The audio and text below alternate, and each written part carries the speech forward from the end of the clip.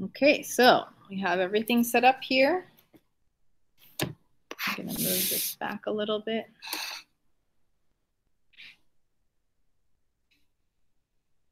All right, so I'm gonna start off with purple. Remember I said the blue pigment is a little heavy, so you'll wanna really swish it around, make sure it doesn't settle, it's evenly dispersed in the puddle. Fill up your brush completely, and then start off with a row of purple. The indigo is very dark, so it will definitely feel like nighttime. And overlap the row, and I'm gonna start moving a little bit into the red section. Overlapping. If you can still see the line, go back one more time. Then I'm going to go into the red a little bit more.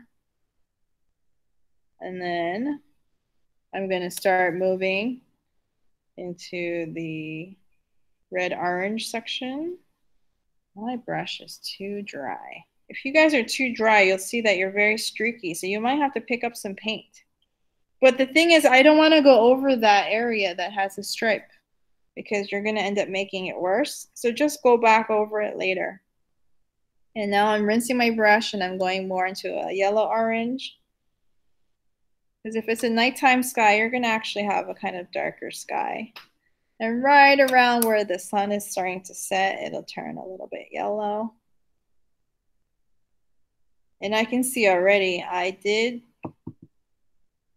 not have enough water in my brush. So if you look closely, you can see it's much streakier than my other ones. And that's because I didn't have enough water in my brush. So I'm just gonna make sure I hydrate it and swish it around before I do it again. But this will dry in a couple minutes and then I will add another layer. So when you're ready, go ahead and start with your purple.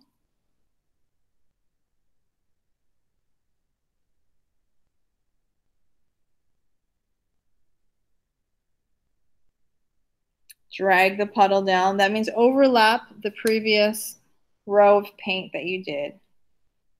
And then remember what area you start transitioning into the next color. And the second layer should be darker. It's a nighttime sky, or it's, it's the dusk sky, so the sky is getting darker. Your palette should almost look like your sunset or moving over into each color. My second row is way better.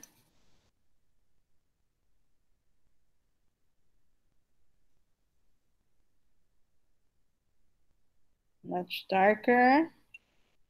And then I have a little bit of the yellow at the end.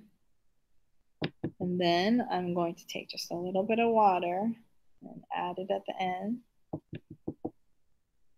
And use a dry brush and vacuum it up. That way it'll dry nice and evenly and it'll help all the water to come down and all the pigment to just naturally settle in. Okay, so here's my palette. It kind of looks like the sunset.